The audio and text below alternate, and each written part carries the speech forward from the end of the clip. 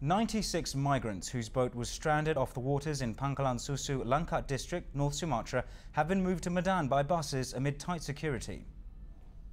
The transfer was witnessed by local officials and representatives of the International Organization for Migration. Of the 96, 43 are persecuted Rohingya Muslims from Myanmar and 53 are Bangladeshis. The Immigration Office is coordinating with the two countries to verify their nationalities in order to repatriate them. Their boats had been found adrift with a dead engine by local fishermen on May 15th.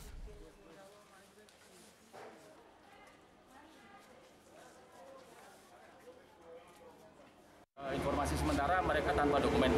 Kalau emang nanti dia memang mau mencari pekerjaan ya kita kita nanti kita minta keterangan dari kita koordinasi dengan perwakilan mereka yang ada di Jakarta.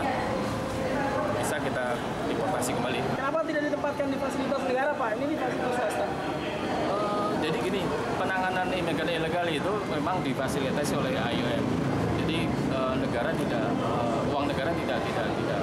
Jadi semua semua fasilitas